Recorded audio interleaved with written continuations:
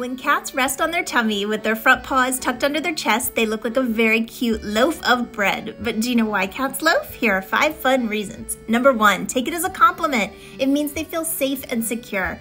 In a loaf, their claws are all tucked away, plus it'll take them a while to stand up and run away.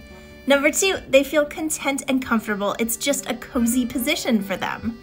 Number three, loafing keeps them warm. Cats' resting body temperature is higher than ours, and limbs and extremities lose heat quickly, so keeping them close to the body prevents heat loss.